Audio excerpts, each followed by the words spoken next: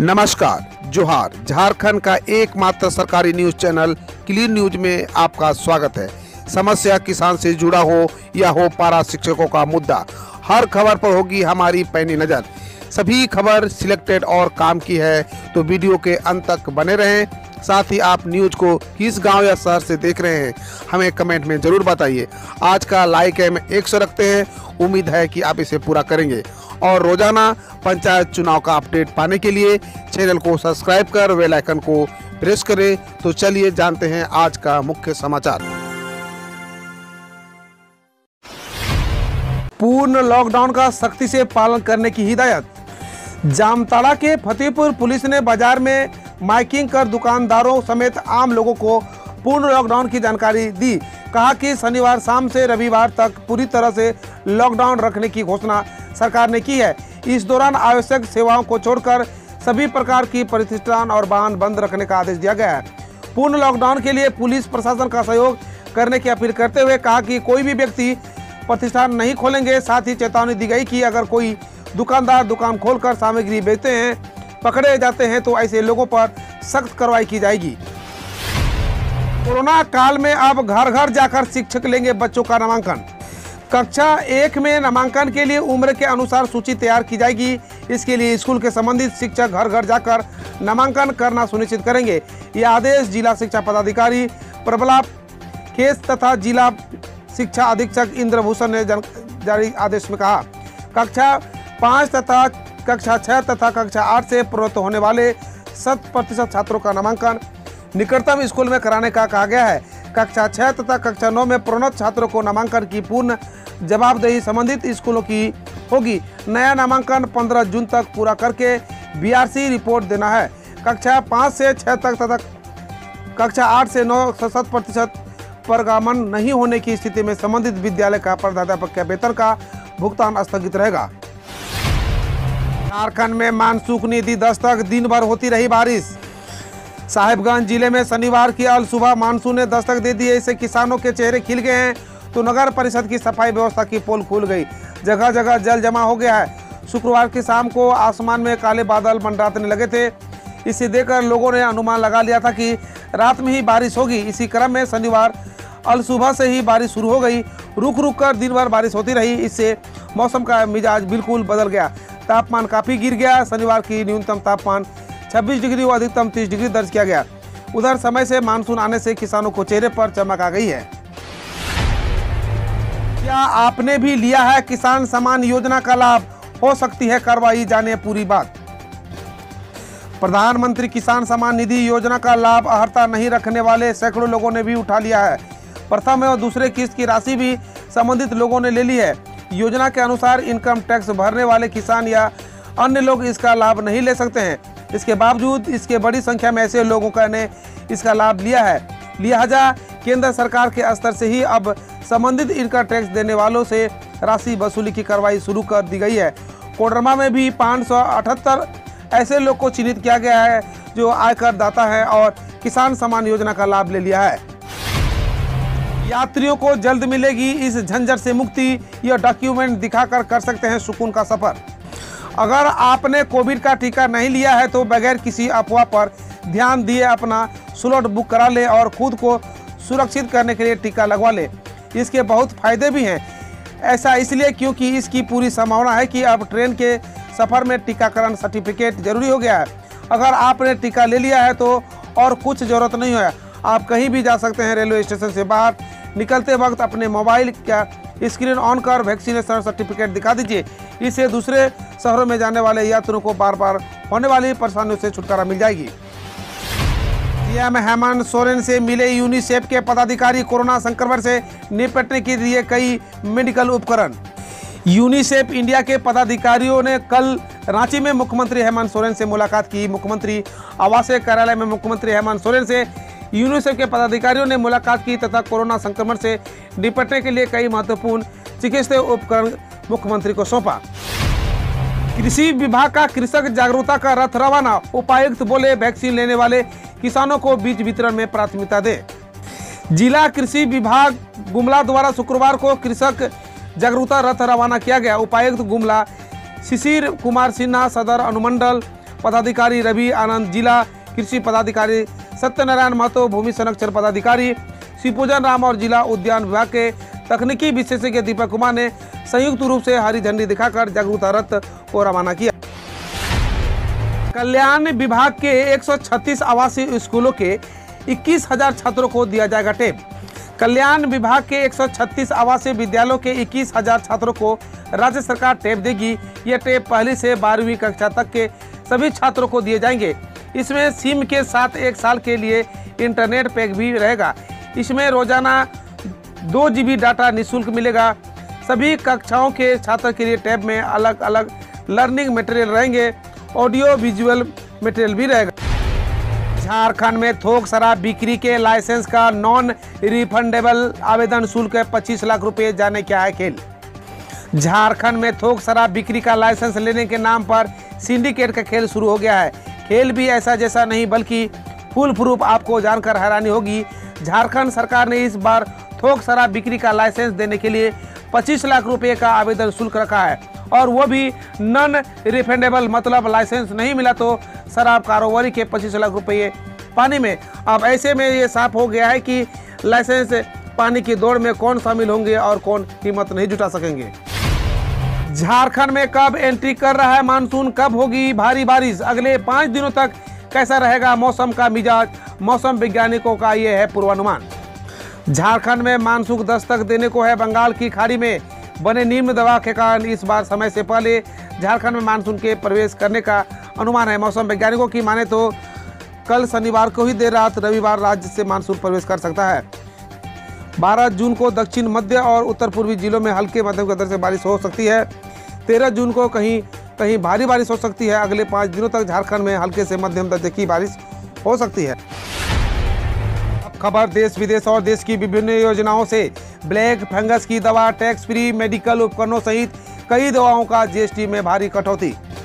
GST परिषद की चवालीसवीं बैठक में ब्लैक फंगस की दवा को टैक्स फ्री कर दिया गया है, जबकि कोरोना वैक्सीन पर पाँच प्रतिशत जीएसटी बनाए रखने का फैसला लिया गया है। परिषद ने कोविड संबंधी दवा, वैक्सीन और अन्य ज़रूरी वस्तुओं जैसे कि एंबुलेंस आदि पर भी जीएसटी की दर घटाने का अहम फैसला लिया गया है। केंद्र सरकार ने इन सभी आवश्यक वस्तुओं पर लगने वाले जीएसटी की कर अलग अलग दरों को ज़रूरत की आवश्यकता के अनुसार घटाया है।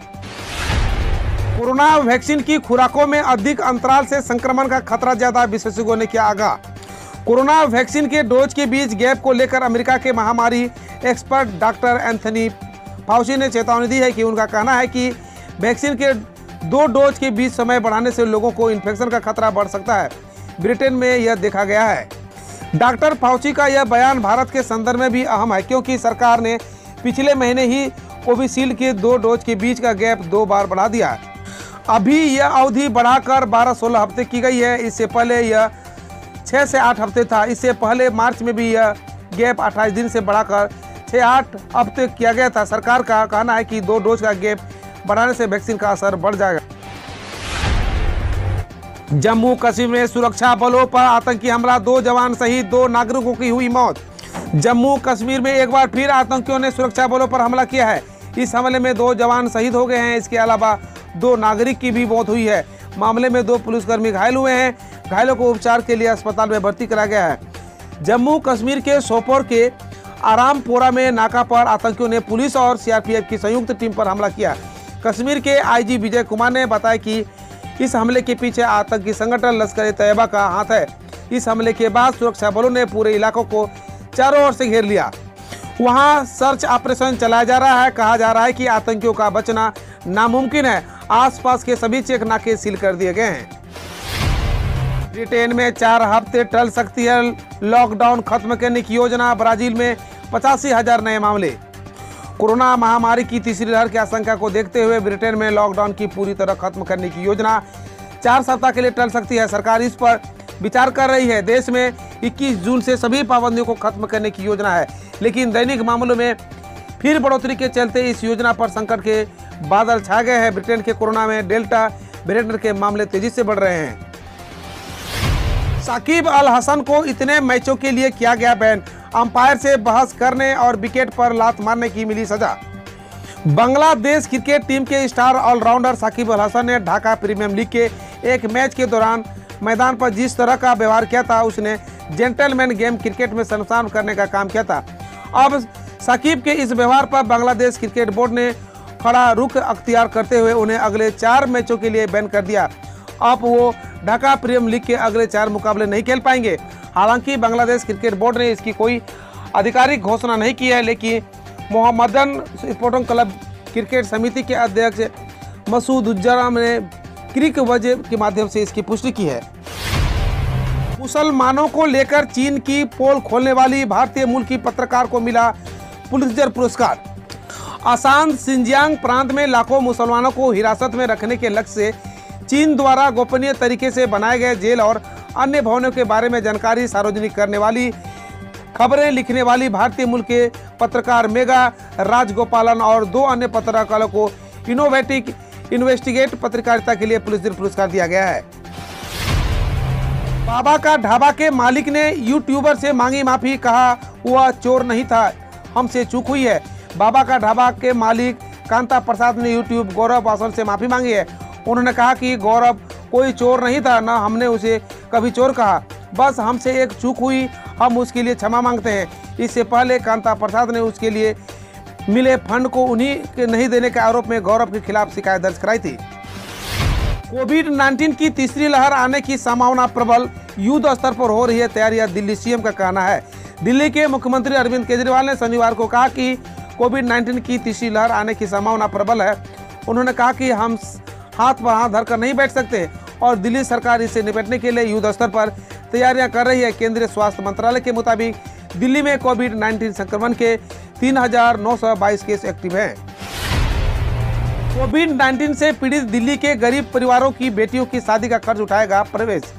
पश्चिम दिल्ली से बीजेपी सांसद प्रवेश साहिब सिंह ने कोविड 19 से पीड़ित दिल्ली के करीब परिवार के बेटियों की शादी का खर्च उठाने की घोषणा की है। उन्होंने ट्वीट किया अगर किसी गरीब परिवार में कमाने वाले ही कोविड 19 से मृत्यु हो गई है और बेटी की शादी करनी हो तो ऐसे परिवारों की बेटियों की शादी का खर्च मैं स्वयं उठाऊँगा।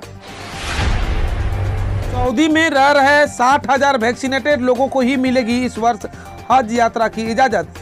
सऊदी अरब ने कहा कि महामारी कारण इस साल साठ हज़ार लोगों का हज यात्रा पर जाने की अनुमति दी जाएगी और ये सभी देश के भीतर ही होंगे।